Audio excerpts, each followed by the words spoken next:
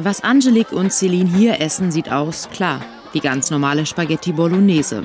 Das ist es auch, aber irgendwie auch nicht, denn das Gericht, was die beiden Mädels vor sich stehen haben, wurde nicht frisch gekocht. Zumindest nicht direkt hier in der Mensa der Gesamtschule Essenstraße.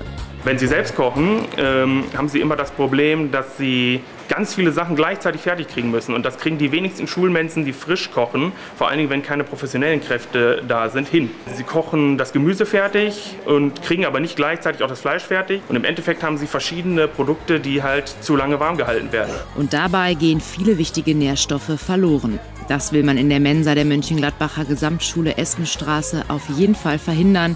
Die Schüler sollen jeden Tag gesundes Essen auf den Tisch bekommen. Erreichen will die Schule das durch das Tiefkühlsystem Cook and Freeze.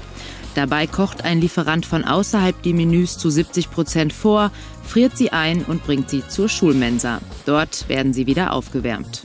Das heißt, Sie brauchen hier keine Fachkräfte, Sie brauchen keine große, gut ausgestattete Küche, sondern Sie können mit relativ einfachen Mitteln vom Personal her und auch von den Geräten her äh, sehr gute Qualität produzieren. Und laut Professor Dr. Peinelt hat nicht nur das gelieferte Essen der Gesamtschule Espenstraße hervorragende Qualität, sondern auch die Mensa im Allgemeinen.